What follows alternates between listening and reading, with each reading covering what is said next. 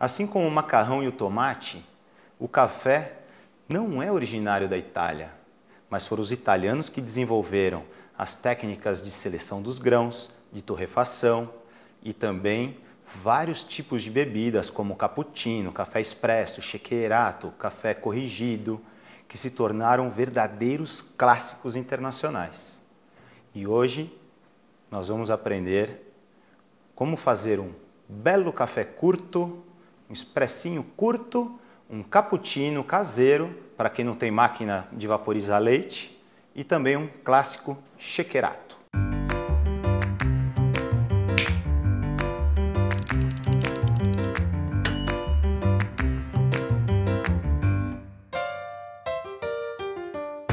Eu vou começar pelo café curto, que é o café expresso super tradicional, aquele que você toma durante todo o dia e o ideal do café curto é que ele tenha apenas um dedo quando você extrai esse café, para que você consiga uma maior concentração dos óleos aromáticos, extraindo o melhor dos óleos essenciais do café.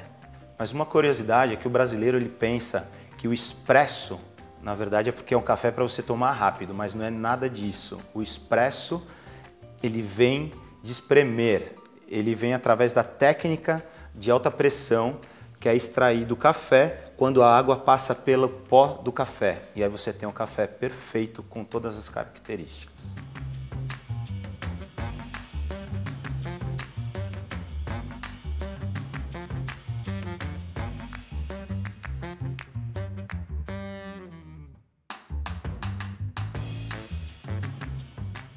Esse aqui é um café curto, perfeito como se toma na Itália. E a recomendação é que tome sem açúcar, para que a gente tenha a experiência de aproveitar a doçura natural do café. Agora, para eu transformar esse café expresso em um café correto ou corrigido, basta adicionar um pouquinho de grapa.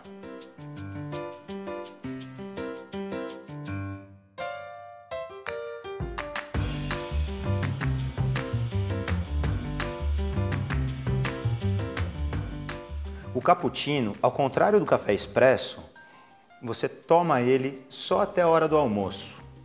Ele pode ser feito com café expresso ou com café coado e hoje eu vou preparar nessa cafeteira tradicionalíssima que é a moca.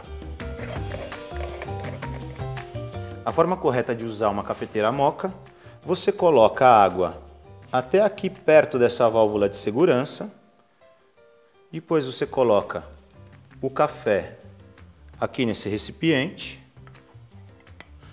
fecha e vai para o fogão.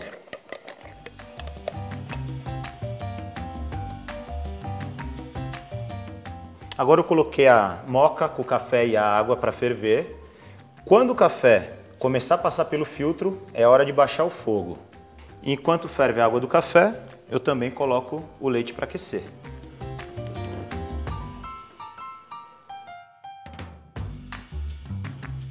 Agora meu leite já está quente, já ferveu, o café está pronto. Eu vou colocar um terço de café na minha xícara. Essa aqui não é a xícara de café, essa aqui é uma xícara de chá, né, que é a tradicional do cappuccino italiano.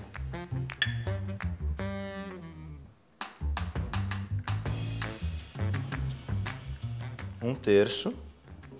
Um terço da xícara é como se fosse a extração de um café longo.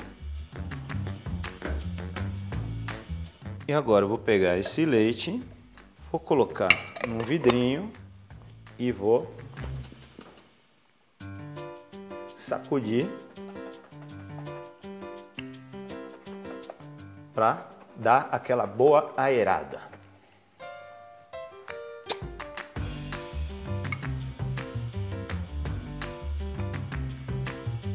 E aí eu finalizo o meu cappuccino com a espuminha caseira. Agora é só finalizar com o cacau. Esse é o cappuccino clássico italiano. No Brasil, a gente também coloca um pouquinho de canela, mas o tradicional é o café, o leite e o cacau.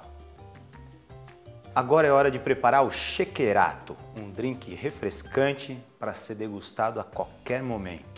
Vou começar tirando um café longo.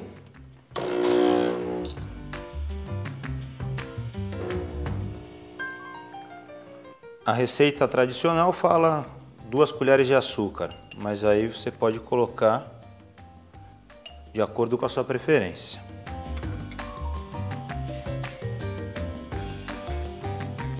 Aquela mexida para dissolver também o açúcar.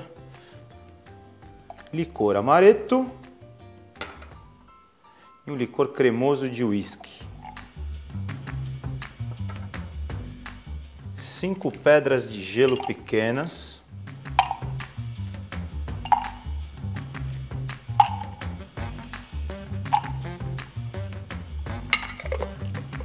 Fecha.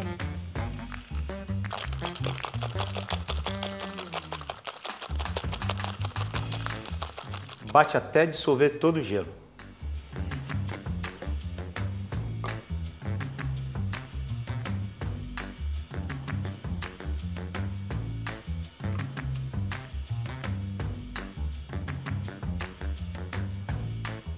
E agora para finalizar, biscoito amareto.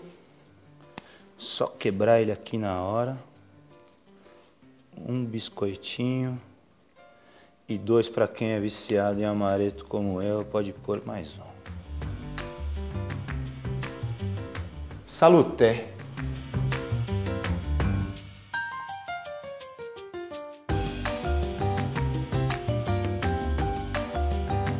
Sabores da Itália.